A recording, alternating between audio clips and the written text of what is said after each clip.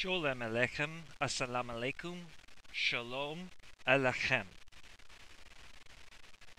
I hope everyone is having an excellent Passover.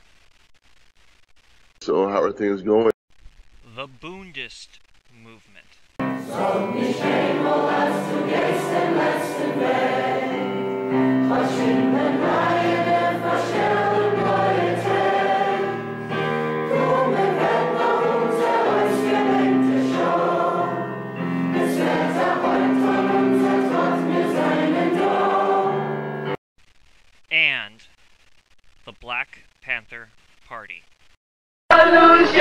Revolution has come. It's time to pick up the gun.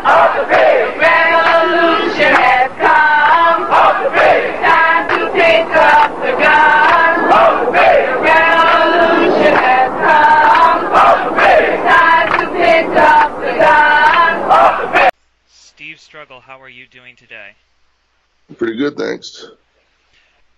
So, Steve Struggle, you um you were with the original Black Panther Party. Yes, I was. That is so cool. Right on. And I take it you have agreed to answer some questions for our our, our organization. Sure, no problem. Cool, cool. I'm going to actually start with the chairman's questions. Sure. We would, uh, on behalf of Dr. Weisfeld, we would, um, and uh, we confirmed this question. Uh, we would like to know if uh, it can be recognized that the Jewish people are a national minority. Um,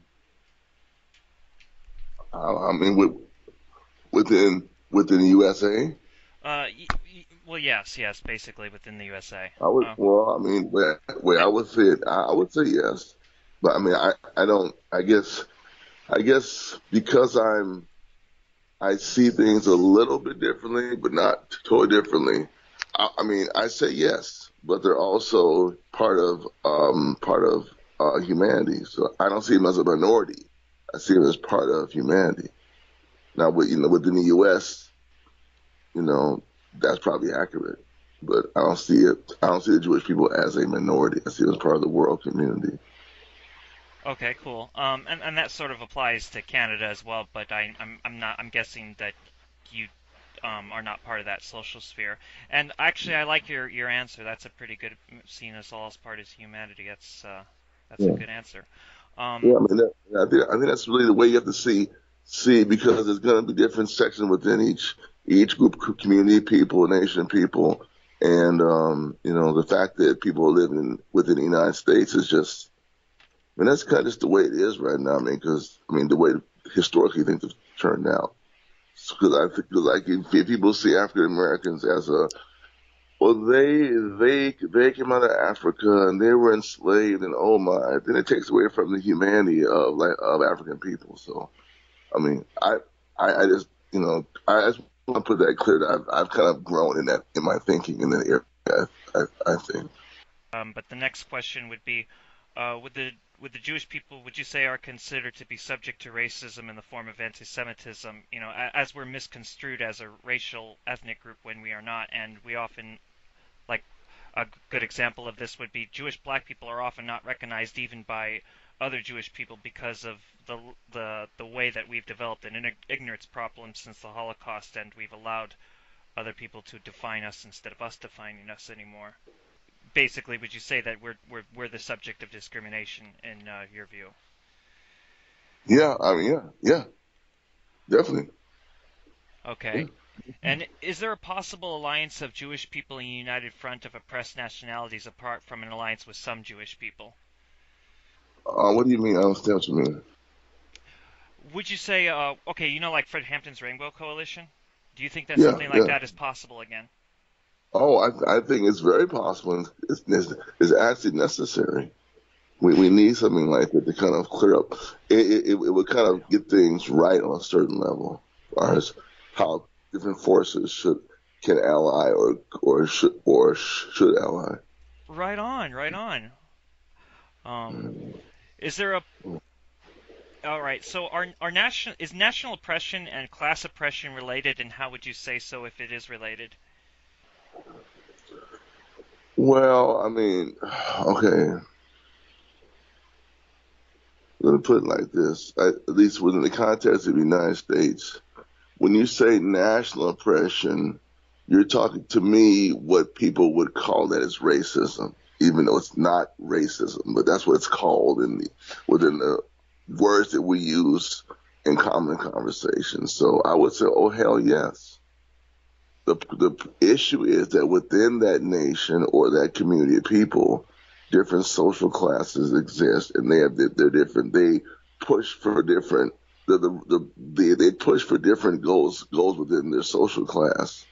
The problem is that within that higher within that community and nation, there's hierarchy of the African American bourgeoisie and petty bourgeoisie over the black mass and the poor, and there's there's struggle between those classes. So, and also the, the, the, the members of that nation live and work within U.S. imperialism.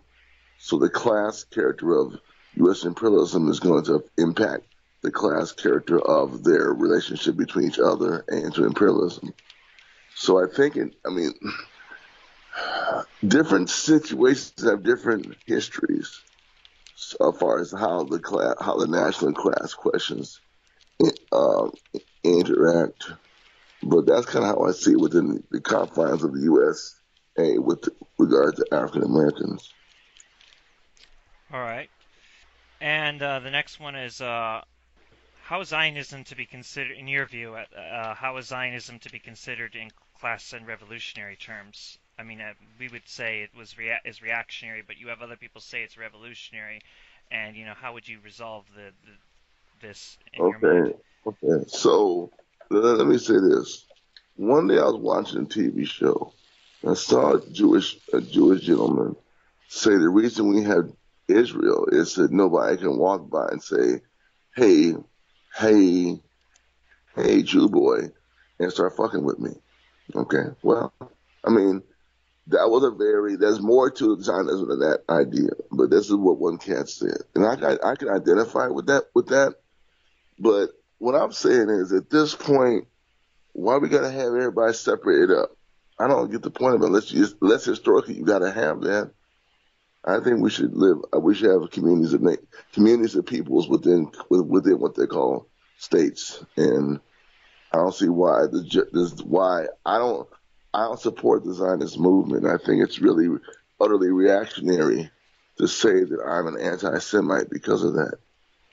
That's where it became become a thing with the, with the, the anti-BDS um, campaign by the imperialists would call say I'm I, I'm an anti-Semite, which that's not true. What is it? And it's not I, true. I, It's- I, I, yeah. I, I just don't see I don't see how that, that project really works. Now, something I did learn from your video, I think it was your video, that people left left Germany and went to Palestine uh, deal with the Nazis. This is, I think it was, it was in your video. Yes, Um, yes. Uh, the Zionists and the Nazis yeah. were in fact complete cahoots.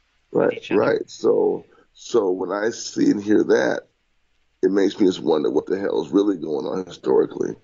Because, um, you know, but no, I, I, I don't see Zionism as being a progressive movement. I mean, a, a, a revolutionary movement, a progressive movement. Um, it, this whole two-state solution shit. You know, I have a whole. I mean, on the one hand, I want to tell, I want to say, the Zionists, what's wrong with you? You can't live with Arab people and be equals and have, you know, one one person, one one voter for Palestinian people. On the other hand, you know, um, you look at how you look at the West Bank, you look at Gaza. You know, I mean, this this this is nothing but um, apartheid, settler colonialism, really deep racism, and um, an attempt to commit cultural genocide against those peoples. Because that's the way your videos really show the abusive police nature of the Israeli Defense Force. It's one if you have ever seen. It really shows what they're about.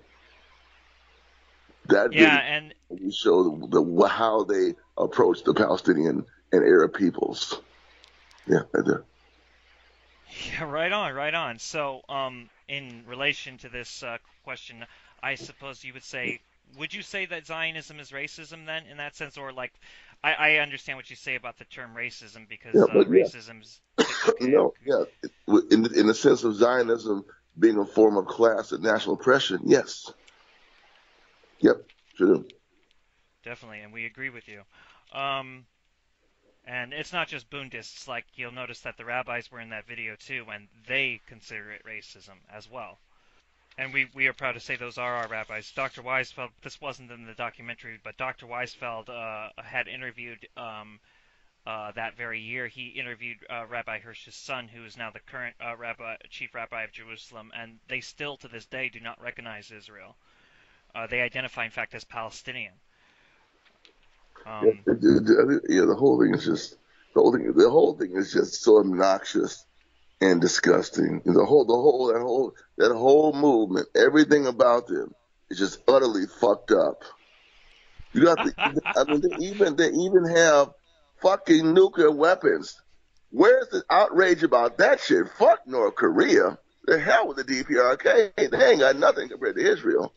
Hell.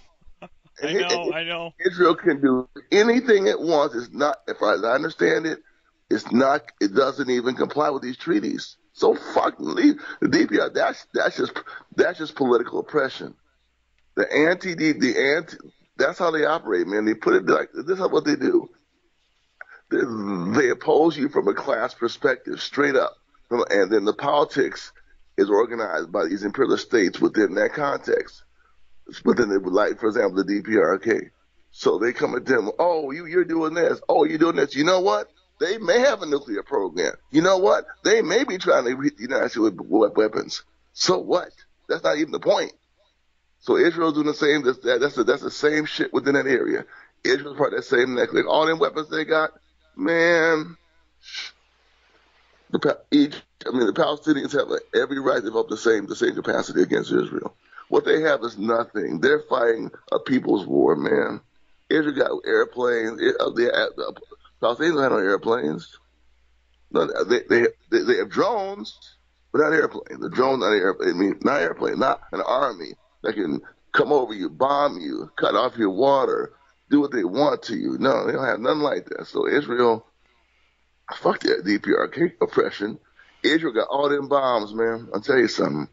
That's a hell of a hypocrisy.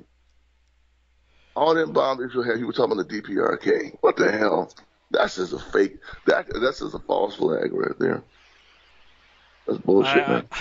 Yeah, I agree with you. Right on. You're keeping it real. I love it. I love it. Um, so, would you say that the state of Israel is Jewish or Zionist? Like I said, these are these are general questions that um, the chairman wants to know. I mean, I think it's it's, it's uh, is it Jewish or Zionist? Right now, it's Zionist. Yeah, that's what I see Israel as right now. And, and then they try to put the cover up. They put the cover of Judaism on the uh, Zionism, just like the imperialists put the cover of, of patriotism for blindly going along with the domestic policy and foreign policy of the capitalists and, and their governments. Yeah, they're they're they're, they're definitely a Zionist state with a with a Jewish cover. Right on, right on. Yes, they're they're using us as human shields, basically. To, and we and then and like when um, I'm not the biggest fan of Barack Obama, but I sided with him over Netanyahu, at least in the.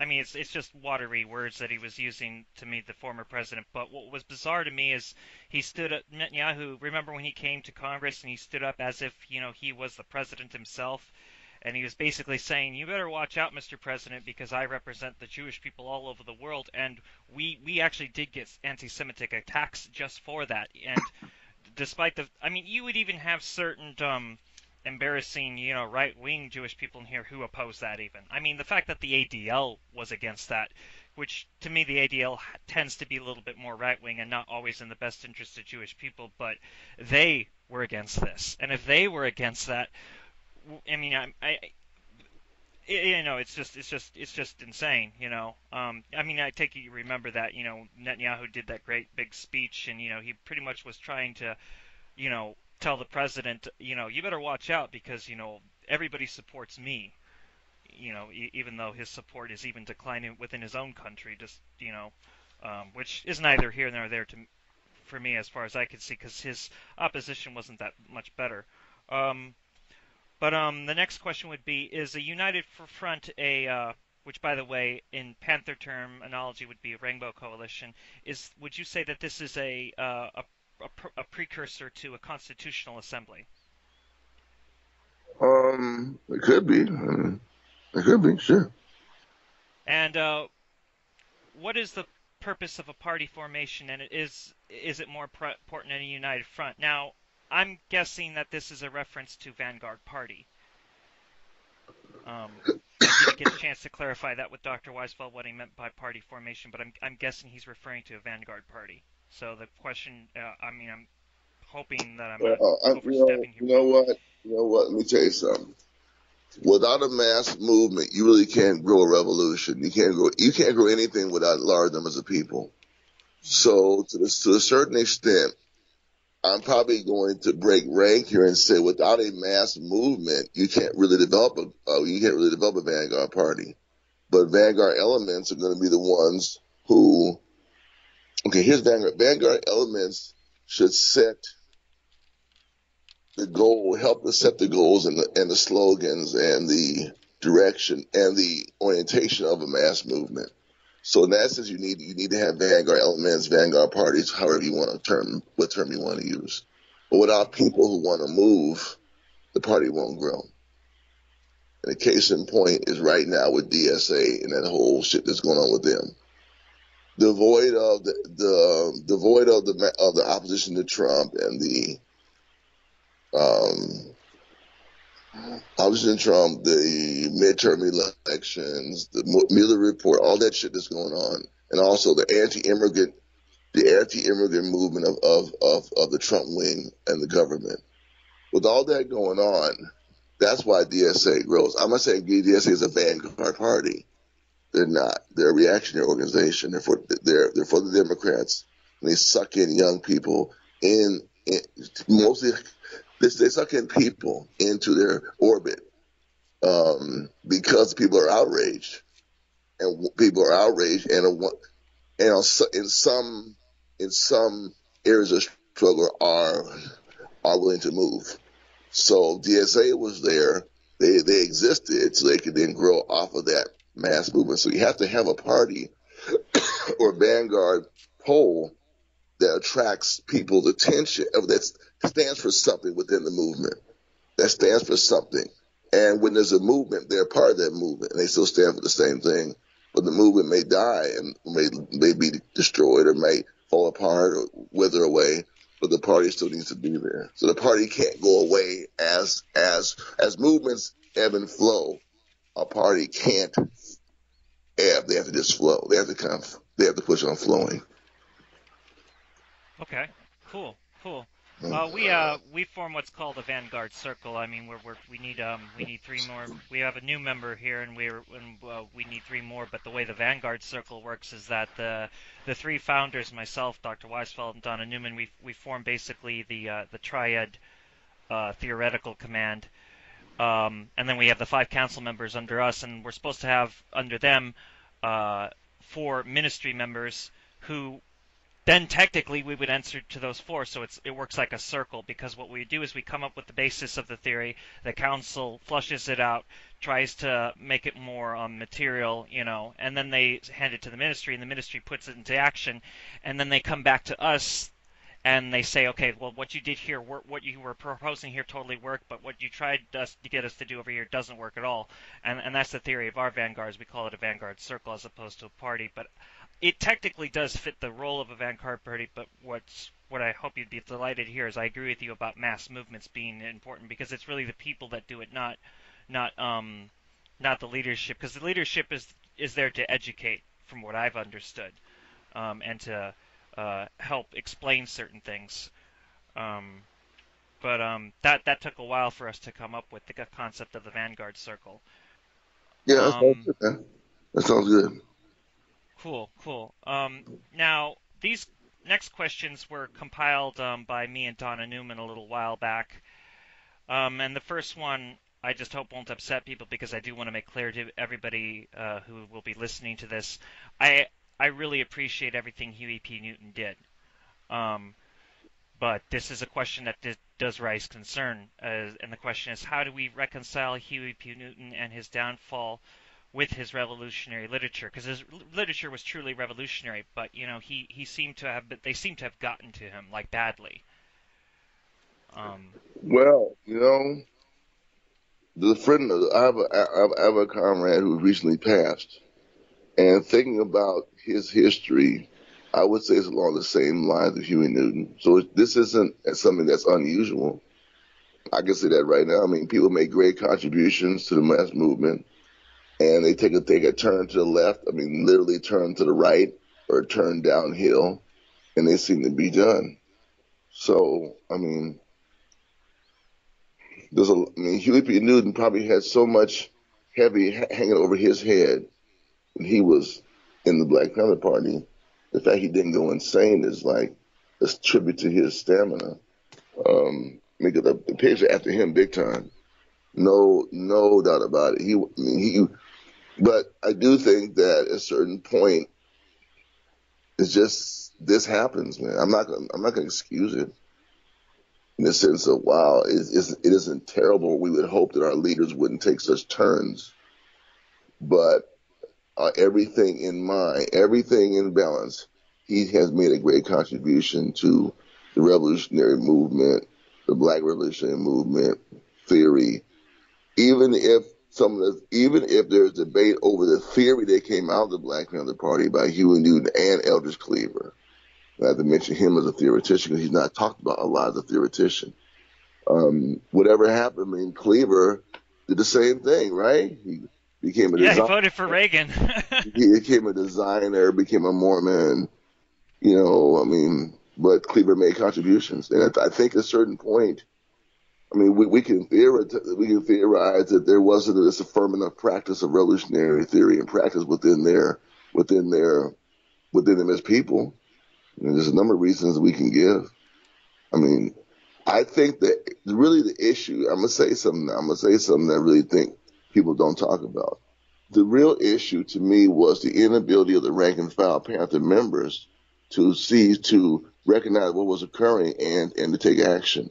Now there were some some police, I would say police, some enforcer elements in the Panther hierarchy that wanted to keep order, you know, would, would that would use uh, um, uh, armed, oh, not violent, not pistols or guns or knives, but would use force against party members. But all the party members had to do, essentially, that's it's very easy to talk about. They said, "Hey, we you know you know we, we as party members don't don't like the way things going or the direction of this organization, and we think we need a rectification a rectification campaign, kind of, like, kind of like what happened in China.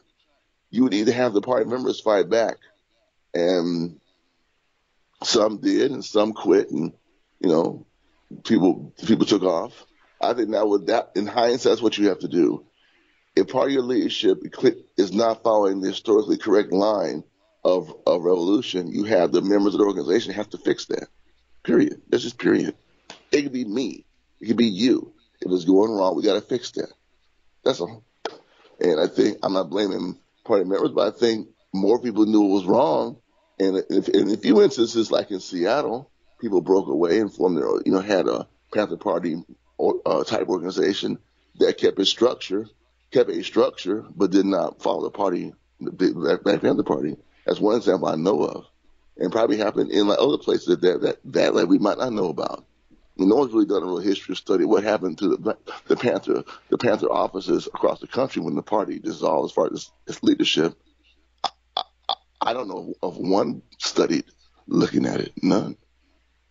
So I think yeah. I mean I think Newton Newton's Newton's antics as he became older, as he became older also, and not leading a revolutionary movement tend to tend to deviate, but there are many leaders that have done that, man. Many. I mentioned three right now: Cleaver, Newton, uh, somebody else. There's another person I know of who's who's passed recently. Great, made a lot of theoretical contributions, but at, at a certain part they just deviate away, and I can't explain it why it happens, but it does happen. And when it happens, people who are I hate to use the word true true true believers, but those who are true believers in social revolution have to have to make keep the path alive, with or without that leader. Recognize their contributions, keep the path alive, and keep moving. and, ho- and ho- hopefully the leader can can become one one of the members of the movement again and and you know get back in step. But if say, but if say the the leader doesn't do that, you can recognize what you can recognize his historical contribution and just move on, and make make necessary criticism and self criticism and just move on. That's all to you with Newton and anybody else. Right on, right on. Um, I, I like how you flesh out those answers answers so that there's no misunderstanding what you say. That's really good. Yeah, yeah, yeah. yeah. That's for sure. No problem. What do you think about uh, challenging errors in Marx, Engels, Lenin, Stalin, and Mao? I'm not not not not tearing them down. Just saying uh, challenging errors in them because that can Okay. often get you in a lot of trouble with a lot of people. You know, I, I think you have to just you have to just give your opinion of what you think. You know, theoretically, I, I don't I don't see it as a big deal. I mean, it's a big deal in the sense of where where you want to take your movement and where you want to take your your your struggles and your your your development of ideology. But I mean, I I books my cabinet right here, st- um um, blood lies, Khrushchev lies, another couple. There's a guy named like Grover Furr. Gro- Gro- like Grover Furr gets a rile of Trotskyists. Oh well, okay, that's cool, no problem. We, what do you have to say about it? Just have a conversation. It's not about you know people ain't, ain't got to get all twisted about it. But these there's a, there's a lot of there's a lot of bullshit struggle that goes on with Marxists. I think it needs to come to an end, or at least I don't. I don't participate in that stuff. I, I make my opinion known. I read, and then I try to build something. I'm, I'm not to spend a lot of time on you know cascading somebody's line. I'm not to do that because I, I, I think it has a point. But at a certain point, building revolution is part. You have to. That's part of building building revolution. But you have to. You have to have a proper balance also. All right, cool. Um, um, well, I mean, uh, this isn't actually on the list, but that actually uh, uh, that actually emerges in me a different question that I that I think might have some relevance. Um, in contrast to that, what do you think? Do you think it's worth it also to defend such people? Because um, we we've found that it's worthwhile to explain to people that a lot of what, yeah, there are things, there are legitimate criticisms you can make about Joseph Stalin, but a lot of it isn't true. In fact, Stalin is not the big boogeyman that people often attribute to, and he actually did good good things. Yeah, um, I was trying to say that. Also, I, this just came to mind. This wasn't on the list, but in contrast to that, what do you think about defending such people for their reputation being torn down? Not because individuals are important, but because people tend to sweep aside movements because they say, "Oh, Stalin did this, Stalin did that," and Mhm. Yeah, yeah, I, I, I, I think that's right, man. That's why, that's why it's hard for me to be in a group that hates Stalin, because Mhm. if you hate him, I, I know if I can hang with you. If you, because I think he made some contributions. And frankly, I'm gonna say something. People talk a lot of people think a lot, a lot of shit about Stalin. I'm gonna say something right now. If he wouldn't have ruled the way he ruled, Russia would have got beat by the fascists. And that's the end of that conversation. I'm sure he just, I'm sure politically, if he tracked Trotsky down to Mexico and killed him, he better have a damn good reason, man. Ah, That's a lot of fucking capital to put into kill, killing somebody. Fuck that noise. I mean, I sure, I, I sure hope it was worth it. 'Cause I don't, I don't think it was. I mean, that would see that would change the whole history of how communism sees him too. Something you just don't do, man. I mean, but then again, the Bolsheviks wiped out the ro- the royal family, right? Killed them all, including the children. Damn, just fucked them all up. That was some shit. So I guess, you know, I don't know, man. It's just I I I, I would like to know more about those trials that occurred that people accused of Stalin right, right in roughshod over the party, the things that um, Kollontai talks about in the worker opposition. I think those are things you can talk about, but he was he was part of the Bolshevik Party, as was Trotsky, as was Lenin, as a whole, Yeah. a whole lot of other people. Same thing with Huey Newton. Same thing with people like um, our, our brother Ward Churchill. Man, damn, they put a hurt on him, didn't they? They fucked him up, man. I, I heard Homeboy isn't even working. well, for what it's Um, worth, we're not we're, we're we're not a bunch of Stalin haters. If it if that No, helps no, no, anything. no. I, I'm just saying. Same thing with same thing with Mao Zedong. Um, I miss a few. Fidel, no, I'm gonna miss some names. Fidel Castro, Mao Zedong, um, Ernst Mandel, Pablo Moreno, um, these names that come up in these conversations. Um, I'm very happy that Cuba allowed escaped members of the, of the Black Liberation Army and Black Panther Party to live in Cuba. That doesn't mean I support everything the Cuban Revolution has done. However, I do think they kicked ass in South Africa. I'm gonna tell you right now. I'm, gonna, tell you right now. I I I, I, split with, I have split with people over Cuba and the Soviet Union and all that shit. No, I see it like that. That was a good thing. That was a good thing.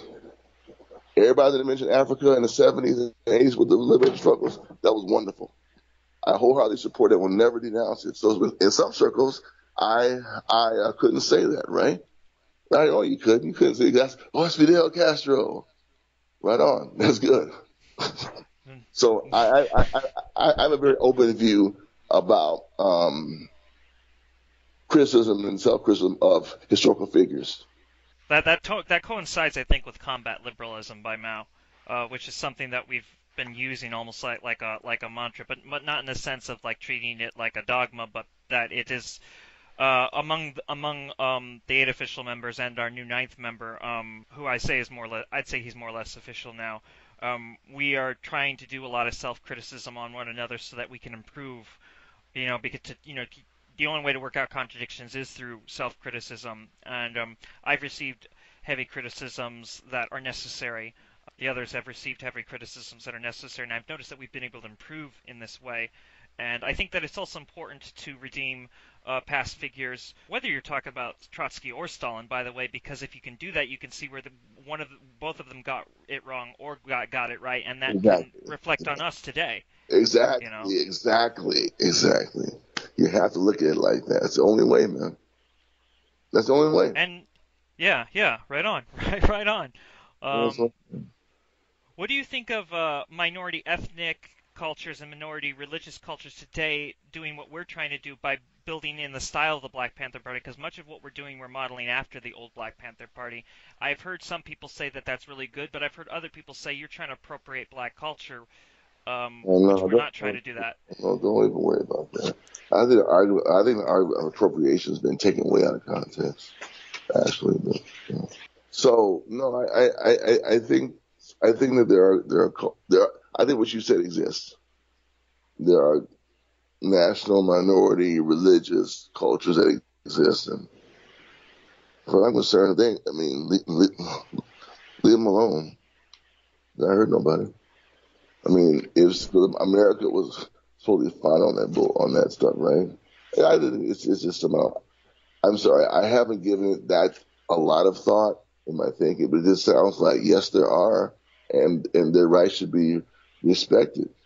Well, yeah, there's um, I've me- I mentioned to you two uh, uh, revolutionary black groups that are virtually unknown, uh, like when we when we spoke in private, and there's also a Byzantine Catholic group that feels that they they've gone through bad history with the Roman Catholics and the Russian Orthodox. They're they're a Byzantine Catholic group, and they want to work in solidarity with people. There's also um, uh, different uh, Hindu forces that um, are skeptical of the caste system, and they, they believe that oh. capitalism exploits the caste system when the cat like they like there's a Hindu, but he was a person that used to come with me to a, a special ed school that I, that I took in my young adult life as I was trying to improve my spelling, and he struggled with spelling. But he talked to me about how he felt that Hindus had a, an uphill battle. He said because prior to capitalism come being forced on India, and he maintained it was forced on India, the caste system, people were starting to finally challenge it, and they were starting to, and they, and ironically, they were able to use the Bhagavad Gita to challenge it, and it got to the point where you know a lot of Hindus said, you know, the caste system was for a more way distant past thing, and now we can go beyond that. But capitalism comes and gets rid of that progression, you know, because capitalism, like, ooh, caste system, perfect excuse, to you know, to to you know have class division basically, you know, and um, it's uh, I'm not trying to like bash somebody like Gandhi, but that's one of the things that I found found strange is that people keep going back to Gandhi, but Gandhi to me is not the best representative of Hindus because he was trying to preserve the dying caste system, which in a way he effectively helped capitalism when he did that. He helped imperialism essentially. But I, I don't know like you, you I don't expect you to agree or disagree with that, but I mean I, I want to know what you think about that. I, I um you know from what I can, what from what I know, I'm just gonna say from what I know. Um, I don't like the caste system. I don't, I don't see how it's progressive. I don't see how, I don't see how it's, it's revolutionary. Just like I don't like skin tone among black people. But that, that's not the caste system because I think to a certain extent, racism has an element of caste, caste system within it. I think so. I see it's just just just keeping somebody keeping somebody oppressed because you have some so they're supposed to be oppressed and everybody's supposed to be oppressed within that group. That's bullshit. If that's what the caste system is, I'm not for it. Yeah. And it's amazing how many Hindus you find out absolutely want to get past the caste system, and they're held back literally by the state enforcing it on India. Uh, there's, I'm sure you've heard a lot. There's a lot of uh, uh, Marxist-Leninist Maoists in India, you know, trying, you know, who are still doing a, a, a, people's war against the capitalist system over there. Okay, well, you know, man, if, if that's the case, we need to see, we need to see the Indian state then overturned Just that, yeah, I mean, that that would be a quite legitimate, that would be a rebel, that would be a that would be a revolutionary movement in India to get rid of that, to have the Indian masses rise up against it. Yeah, no, definitely. It's, ama- it's amazing how many of them go out of their way to try to make contact with people in the West so that they can be visible, um, and they're often ignored, sadly. Is is it wrong to criticize the heralding of nonviolence, given the fact that this liberal liberal tactic is failing as a lifestyle in dealing with police brutality? Well, here's how I think you should handle this. I think that most people would like to resolve things peacefully through conversations, agreements, you know, I think human beings would, would prefer to handle things in that way. However, the, and the state, the capitalist state has institutions which exist to make sure the capitalist state stays in power. And one of them, one, and many of them involve the military, the destroying of property, destruction of um, infrastructure, and killing people.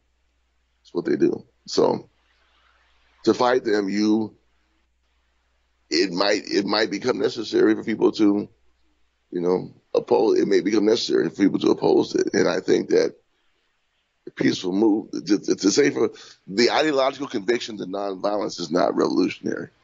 I don't think that. I don't think you should be ideologically convicted. I don't think you should, be ideologically conv- convicted to not be to not use self-defense methods and offense methods when necessary.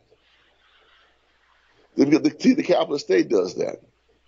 The capitalist state does, does what it wants to do to make sure the capitalism exists and they impose these ideas on on they have their their spokespeople, their ideological police or whatever, or or um, proselytizers to say we should you, you can never use violence. I'm not saying you should be violent, but I don't think you should take. I'm not. I don't think you should be ideologically wedged in that. It hasn't been unless unless unless the workers, unless those oppressed peoples say this is how we're going to walk and we're going to walk this way and our revolution will be will be felt will be waged this way then i could see supporting it if it came from the mass of the people through through through the revolutionary leadership to say hey this is how we want to make our struggle and this is what we're going to do then you know I, I would have to i have to i'm i would be forced to acknowledge how, how people feel about that mm-hmm. but i do but i do think for example the king the way that ml king is is is saint, is given sainthood. People like Huey Newton, Bobby Seale, and imprisoned Black Panthers, and imprisoned the murdered and imprisoned indigenous leaders, people from the Chicano people, the Asian people, the uh, Jewish people. You know, those leaders are not those leaders' views are never endorsed by the state unless they they philosophically are support nonviolence no no militant leader of any of any peoples, even Geronimo is not honored. Geronimo is acknowledged for being a great tactician, but he still was a native man and he used guns to oppose the white the white expansion. So you know, I mean, I say it's just you know, there's it's really no brainer to me. You have to you have to be willing to embrace what you have to do to win. But most people would most people would prefer to do things peacefully. I think. I, th- I think. I just think people would sit down. That's that's the preferred way of resolving conflicts. I think. Now this this next question is probably going to be the slightly most long long-winded. So if you could bear with me a little bit, uh, what do you think about groups that, while holding to a Marxist-Leninist or a Marxist-Leninist Maoist line, borrowing from Trotsky, anar- anarchist theorists and alternative socialists like Gaddafi. Is this uh, deviation, or can this be acknowledged as simply just not being dogmatic? It's just, I, I think it's more than not being dogmatic. It's, it's opening your mind to learn things.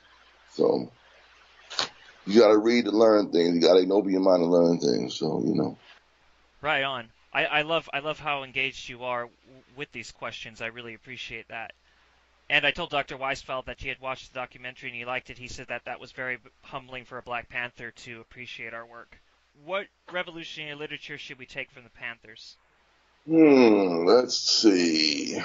I think both of their ten point programs were okay, except for the except for the part about the United Nations. That's, it should have called for revolutionary movement. A blessed black, black people form a revolutionary party. One demand should have been revolutionary black people form a revolutionary party. So I think that's the only part about the ten point program. I think it's like a transitional program. Let me see what else. I think that the early writings of Huey Newton that were published on by Ramparts Books would be good to get. Those, are early, those are early books. The ideology of the Black Panther Party by Eldridge Cleaver is very important, but no one really talks about it too much. Um, also, the writings of Emory Douglas, the drawings of Emory Douglas, I think those are important to study. Also, the drawings. I'd even say probably one of the more important things to study is the art and culture some records of Elaine Brown, uh, records of Elaine Brown, music of a group called the the Lumpen, any other groups that derive from the Black Panther Party, uh, musical groups. I would look at the poetry. I think that those various expressions of Black revolutionary thought are what are the most important. I think the hate to say, but the iconography and the music and the um, yeah the political thinking. But I think that got brought up more within the conversation. Actually, I think that would have impact today, quite frankly. One of my favorite books, I used to have a copy of it, but I lost it, was actually uh, Soul on Ice by Eldridge Cleaver. Yeah, I think yeah, I, I think that's a good book to read, actually. It, it's funny though because he wrote my he wrote my favorite song and then he endorsed the person he was dissing. My favorite song, uh, "Fuck Ronald Reagan," and then he voted for Ronald Reagan. So that's kind of funny. It just it just shows you, man. These guys can take these weird these, these turns, man. and say if say if like that's like in, in Zimbabwe. Look at the Zimbabwe. They, they, a coup d'état in a, in a black nation in Africa of against Mugabe. I mean, their whole that whole all the revolutionary movements would agree that coup is not the solution, but they allowed it to happen there. So it is again, these things happen historically. These contradictory things happen historically, and it shows that the class forces inside those movements have changed, to me, in uh, the wrong direction. So that's same same same, same thing with Cleaver. I mean, have have you ever been to the to the capital of California? No, um, I, I've not really been to California. Yeah. I've driven through California, and and I, I regret this. I've been to quite a few places, but I've not been to California. The reason why I ask you is that there's a there's a there's a there's a there's a statue of Ronald Reagan in the in the bottom of the Capitol, on the first floor. And they they celebrate him becoming president. They celebrate him becoming a president of the United States and being a governor. That's amazing to me. I had no idea such a vicious statue existed. should be torn down the same way, like the Southern Step is right there. So here you have, I mean, imagine Elliot Cleaver denounced this man, threatened, threatened to duel with Ronald Reagan, and here he is voting for him. Isn't that something? Wow. That's that. That's amazing. I mean, this is like the first massive legislative gun control came from yes. Reagan. In, I mean, and I, one of the things that we we never meant to become make it a slogan, but we're starting to use it as a slogan. Gun control is right wing. We keep trying to push that forward. Gun control is right wing. It is. Yep. Should should we uh should should we learn from Malcolm X, Stokely Carmichael, and H. Rap Brown? That's the next question. Yep, sure should. I, I I even say that those what's what's so what's so telling about those gentlemen is they did not go on the deviation path of Newton. Isn't that interesting? And yet we want to get yeah. in, in yeah people people I mean they didn't. Stokely Carmichael remained whatever you like, like or dislike about the All African People's Revolutionary Party, he he he, he maintained that stance till he died. H. Rap Brown is in jail. Why? For fighting off a police attack against him in in in in, uh, in, in Georgia. That that was self defense straight up. That's all he's in jail for. And plus, and because he's. Rap Brown, they keep him in jail. Who else? Um. Rap Brown, Stokely Carmichael, Malcolm X. Malcolm X. Oh, Malcolm X surpassed Huey Newton by ten thousand leagues, man. Yes, he did, man. Malcolm X was murdered for being Malcolm X. He didn't even the drug. So I don't see why we would even focus on dissing Newton. Just focus on promoting those people who have a great history we can never talk about them being deviated from. Focus on them. The parents, right. I mean, or give them their their due. Right. They did right not. on. None of them have even took those paths, man. No, they didn't. No, they didn't. Well, I also don't feel like it's it's it's it's healthy to diss Newt, uh, Huey P. Newton, Eldridge Cleaver, or even Bobby Seale. In fact, I still love Bobby Seale. I just think that he's a bit too reformed. But Yeah. I I, I, Yeah. I cherish Bobby Seale, and I love it when Bobby Seale goes out to activist groups and talks because it, it they, they they get more they they believe more in their activism, get more radical when he shows up. So. It's the same thing when Angela Davis shows up, you know, to like Right, right. Yeah, that's true. Yeah, that's true. Occupy Wall Street had a lot of liberalism, and, and you know there's an there's a history behind Occupy Wall Street that I'm one of the few people who know where it stemmed from before it happened actually in Zuccotti Park, because it actually started in 2008. It just became very popular in Zuccotti Park, and they and everybody caught on to it. But what I noticed is what gave it any sense of longevity and curbed away as much. Li- it didn't succeed. It still became a liberal movement, but which is very sad. But what what allowed it to develop any radicalism was the fact that Angela Davis did show up. Uh, uh, Bobby Seale did show up. And Bobby Seale told his famous story about the 10 point program with him and Huey, and everybody cheered, you know, because, you know, and, and that, that I think is what gave it any longevity at all. Had they not showed up, I think that it just would have been, you know, because it, it kind of failed in a way, but it had a longevity, I think, because they showed up. So I don't believe in dissing anybody, you know, because I Yeah. don't think that it's healthy. It's right. You're right. Good. Yeah. Yeah. Um, how would you raise COINTELPRO awareness? Well, hmm. well, first of all, you have to promote the book, The Writings of Ward Churchill. You have to constantly keep that book in people's thinking and learn from that book. I think in political education, as far as materials we need to use for political education, that that book is essential. The um, reports from the government are essential to have. The, those ones that we can get, the ones that um, church committee, those documents. But more more importantly, is that we have to, have to use proper. We have to believe in ourselves and know ourselves well enough to keep our movement alive, and it's going to be attacked on different levels.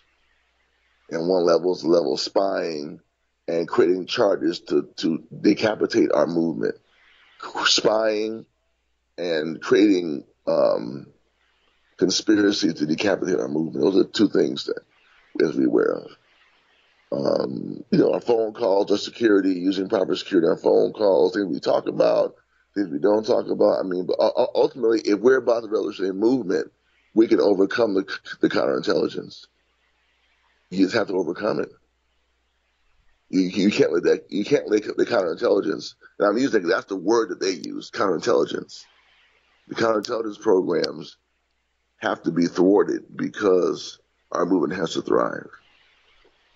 So, Right on, right on. you have to study how they do things. Know, I, I think you should know who's doing it. Quite frankly, what agency of the government does it. I, I, I think you should know the name of, of, of the agencies.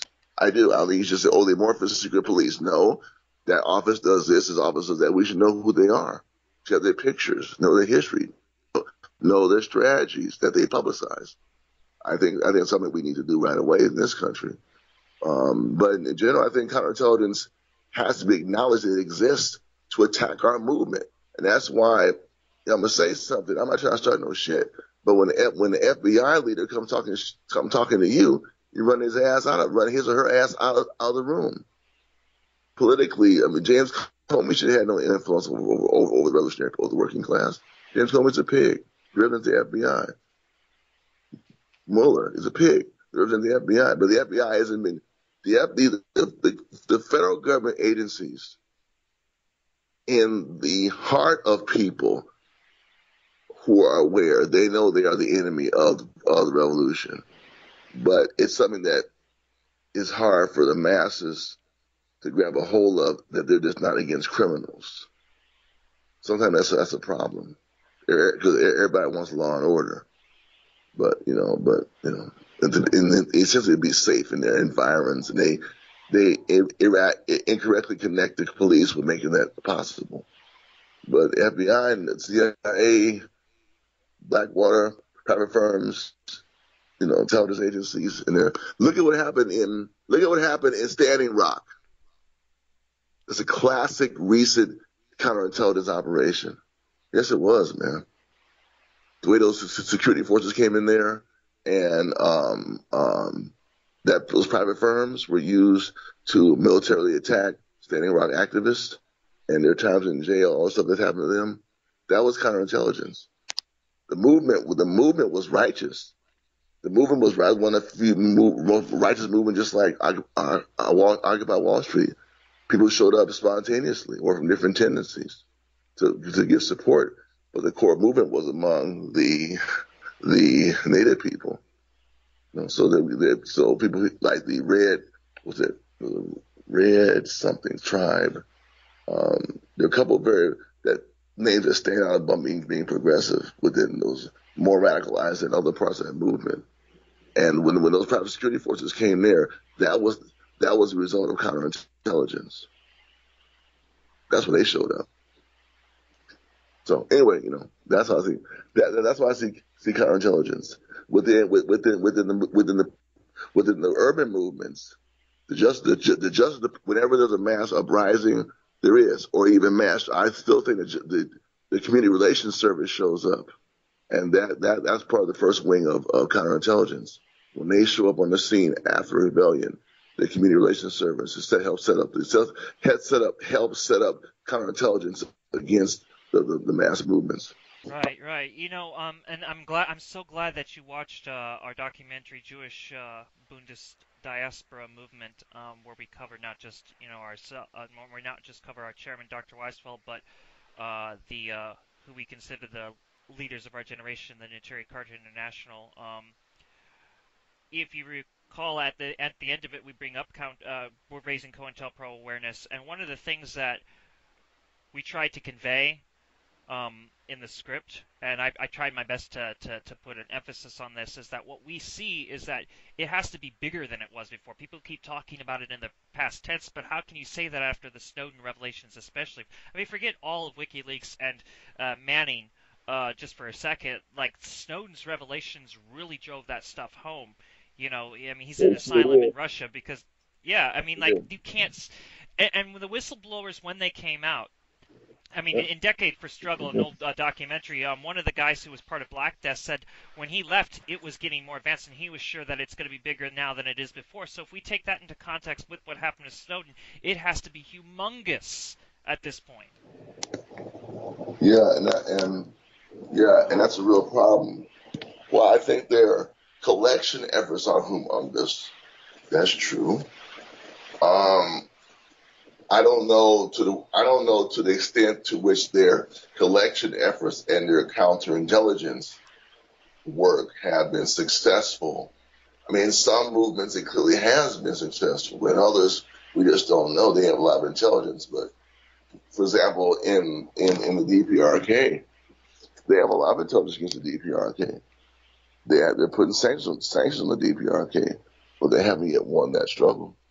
So I think that you know there's kind of there's kind of COINTELPRO still exists, but I think the power of the people is greater than the man. Like the, the old saying, the power of the people is greater than the man's technology, and I think that's we got to keep that in mind too. That because they right on. you know we we, we have to acknowledge what they have, but we we have to still have have a movement. We we, we you know we have to still fight. And yes, yes, we do. Yeah, and their technology can't be a hindrance to us fighting. They just it just can't be. No, we have to we, we, we, we have to just build our movements. If we build our movements, the technology won't stop it. it may hamper it, but I don't think it'll stop our movements. But you know, look at China; they have they're, they're able to stop movements there. Damn sure they got that shit hooked up in China. So maybe I'm wrong about that. I don't know. We'll see. So from Isaiah P. Kometstein, our councilman of committees, he says, Greetings, comrade. I want to know what you think the correct method is concerning dealing with police brutality in the United States and, and how do we bring about Afro unity. Uh, remember, he's this is our Jewish black member.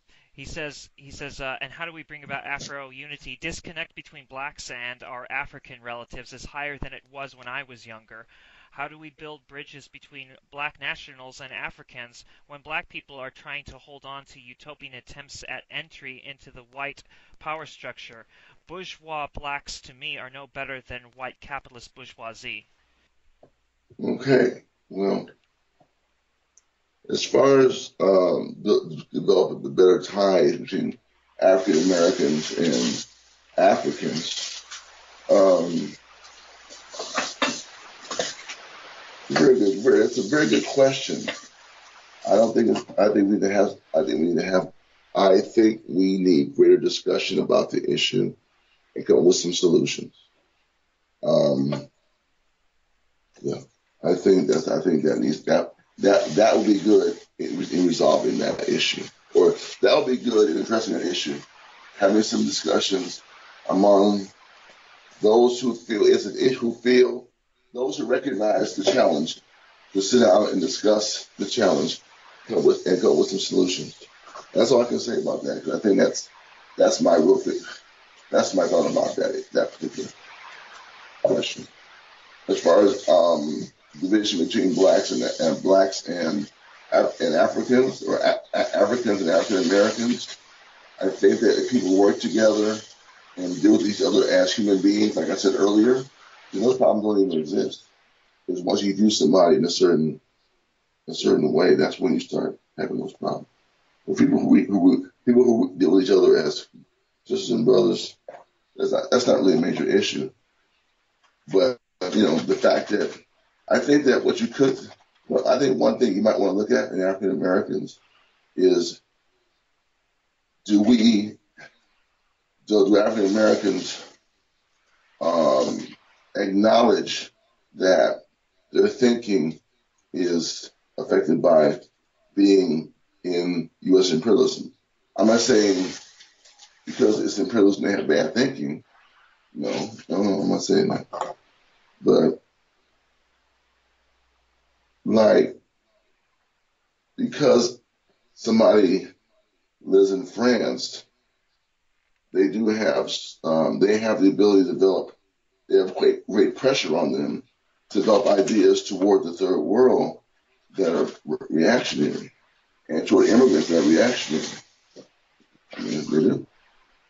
But that doesn't mean they have to be reactionary toward the third world. So any kind of any kind of issues between Africans and African Americans can be resolved if, if we both consider ourselves human beings and people who have uh, just as people. I think that's, I, mean, I think, you know, I think black Americans have been here a long time and it's easy to get, to get caught up in, you know, anti, anti-African sentiment since historically Africa has been seen as a, as, an, as a very negative place. I mean, it's mean, I think Africa is, is still projected as a very negative place and very deprived place. And I think that black Americans some hold those views too. That's probably true. Not everybody, but that could be. You know, I, am not. I'm not. Gonna, I'm not going to say that it's not an issue. I'm not to say it doesn't exist. How to resolve it, I don't know.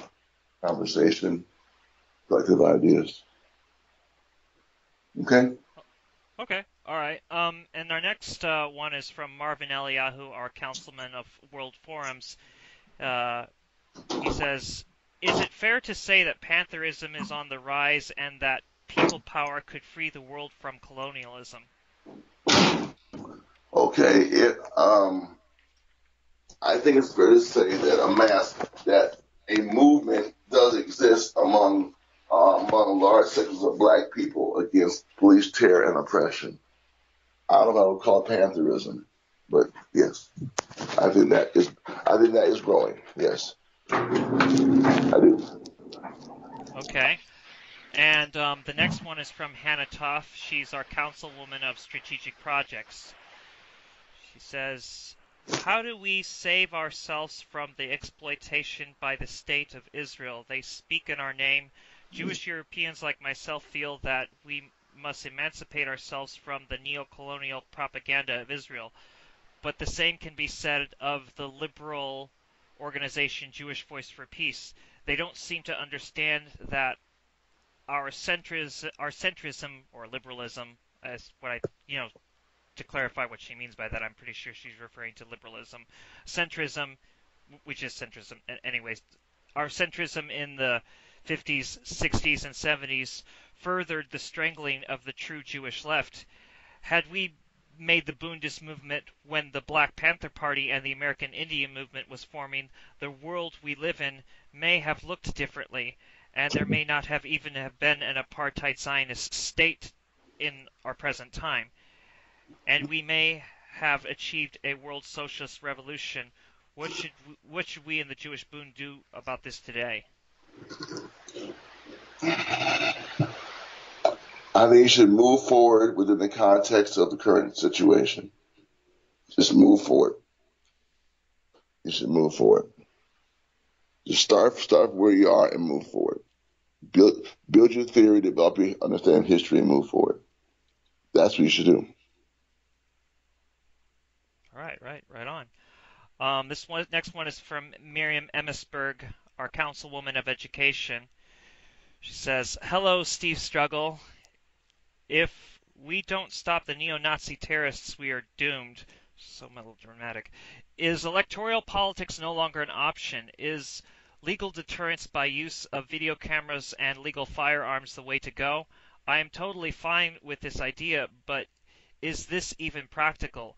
I would like I would like to think that you support the people's right to self-defense. I'm sure that you do. Yet social media that challenges American corporate media is getting censored all the time. What is your advice to the Bundist movement? Okay, as far as the censorship thing goes, one, develop alternative forms of social media that can reach the masses. And always will always be ready and willing to go door to door and face to face and talk to people. That's how you do the social the, the, the censorship. As far as the neo Nazis and the fascists, okay, I think they are a security threat I think that the spreading of the lack of effective challenge to white supremacist ideas and neo-Nazis ideas is is troubling. Um,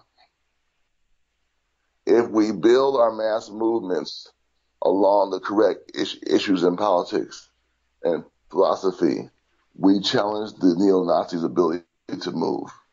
Our main thing now is to move to get get moved, get busy, grow, have our foundations, our foundations in place, and remember things will take will take some time. I think that's the best way to approach them via neo Nazis. Um, you know, they have a, they had a setback recently, um, a legal setback, but um, they do they do constitute a threat. They do. Okay. All right, and um, this uh, last one here is from Uri Adia, our councilman of national affairs. Mm-hmm. With respect to all of our most genuine anarchist allies, how do we show them that anarchism is theoretically broken and has been now for some time? I don't want to pull rank, but I'll pull rank here. If you don't want to answer that one, you don't have to answer that one. Well, I don't, I don't, I don't know if you should worry about it. Worry about it actually. I think that you can have your critique of what, like you have a critique of communism and religion. You give some critiques of communist theory inside your, your inside your slide inside your slideshow, right? Oh yeah, yeah, yeah, yeah. yeah. Uh, and we don't okay. hate anarchists. I don't know why Uri felt like that was a necessary question, but you know. No, I... no, no, no. no it's it's okay. It's okay. I mean, that's something he wants to talk about. That's cool. That's that's cool. I mean, that's that's, that's totally cool. Um, I just think that you should maybe extend such a recording and bring up your concerns about anarchism within that recording. But I thought you get have a very good analysis of anarchism actually having more of a communist a communist uh, orientation than a reactionary orientation. I thought your video did a very good job of that, quite frankly. Oh yeah, um, yeah. Thank you. Yeah, we, we, have a critique yeah, of communism as not being a bad thing per se, but that we we find its origins, whether anarchist or Marxist, to have been Eurocentric in in, uh, in its origins, and that's not just it's not meant as a sectarian move. We will definitely work with I don't communists. Know. Yeah, no, no, I know, I, no, I, no, um, I understand that, and that's cool. It's, it's not even. So you're basically saying that you know you don't really think that we need to like educate them as to what's wrong with their theory per se. We just you know add that to our critique, our, our one of many critiques. I'm guessing is what you mean by that. Yeah, and also just keep building your movement. I think if, if people want to support your movement, eventually they're, they're going to have to come to grips with things in their ideology that prevent them from doing more to support you. That's usually what it comes down to. But you know, I I I just think that important to me, my focus will be building building our movement. I mean, and you know, and building support among broad sections of people, or and particularly Jewish people. You know, that's how we think. We feel that we're not going around in circles, but we're going through some I guess you could say theoretical roadblocks because we can't scrap what Marxists and anarchists have said because they are I mean communists are socialists for you know obviously and they they did a lot of the contributions that were necessary but we also find that at the same time it isn't just dealing with you know um, communist political cousins but it's it's dealing with different strands of, of theory and you know the sectarian like we don't call for left unity, but we definitely call for anti-sectarianism. But we find that sectarianism is stronger now in a more unnecessary way. You know, whereas maybe sometimes it might be necessary because this person might be too reactionary or, or actually be cryptically fascist or something. You have those situations. But sometimes that's not the situation at all, you know? And, you know, uh, it's getting harder and harder even to sit down with certain groups you know, in some senses. In other ways, though, it's growing, but it's growing from people who I've noticed have not made up their mind about a lot of things, which I don't know what you think about that, but you know, people who don't necessarily already have their mind made up or and are just open to absorbing as much information as they can and making an evaluation. Those seem to be the people that are the most on par with anything. You know, man, I, I mean, I'm, um, I'm uh, I, I I'm okay with what you what you were saying. I'm okay with that. I like how you say our movement. I, am guessing you're collecting with us and you as as a larger we, and I, I kind of appreciate that. Um, well, yeah, I do think we have uh, some definite some definite um, principles of unity and things we agree on, even at the realm of, of, of ideology and philosophy. That's very good. Yeah, it's it's it's it's I think it's time to, as you've put it, more than once move. I think we need to move forward, um, and we need to get the ball rolling. I mean, we've started already with a lot of stuff, but as we uh, progress, we we've noticed that there needs to be, you know, there needs to be more strategy. I mean, Hannah works on strategy, um, and she's still in development of it. But we're also at the thing where we realize if we don't get our manifesto out, people are not going to understand where we're coming from. So we're we're we're we're we're almost done with it more or less. But at the same time, it hasn't covered the entire theory, and at the same time, theory and practice is important. So we have to worry about practice. Our newest member because we're like I said, we're going to have uh, four new ministers. Um, the, we've already got the first one. Um, so his first name's Daniel. He he keeps stressing, and everybody has read it except me, except I started reading it. Everybody has read everybody except uh, myself and Abraham Weisfeld has read the book Settlers, from what I understand. And Daniel says we've got to read Settlers, especially if we're making a large critique of the American colonial structure. Would you agree that since since I he didn't ha- I didn't get time to take a question from him, I'm, I'm just going to take what I would think he would, would want to ask. Do you think Settlers is an important book? I think it's important to read Settlers. I don't think settlers by itself is sufficient to develop to develop a critique of the historical, ideological, and political development of the United States. But I think settlers is very important, and it's not given the importance that it's due. I, I just I, I, I have to read it again recently and to critique it in my currently way of seeing things, but overall, as I remember its basic its basic premises about the you know, white settler colonialist view of white people in white America, I think that that's I think it's it's a, it's an important contribution, and we but you have to you have to um, I think you have to um, go beyond make that part of your analysis. Just make keep that in mind when you make your analysis. Mm-hmm. Keep that in mind when you make your analysis. That's all. Steve Struggle, thank you so much for coming here, and I hope it's not too cliche, but we've been saying it a lot because it's a it's a, it's a it's a phrase we feel. I'd like to say all power to the people. All power to the people. All, all power, power, to, the... to the people. Right on. Thank you so much for coming here. I hope maybe at some time in the future we can come again. And I, I, I'm sure you've been you're very busy with things, and so for you to talk. Uh, let me get a chance to read some more of your materials, uh-huh. and uh, give me about a week or two. No, give me up up to two weeks, and uh, I'll be back in touch with you. I will be. Right on, right on. Thank you so much, man. All power to the people. Okay, bro. Take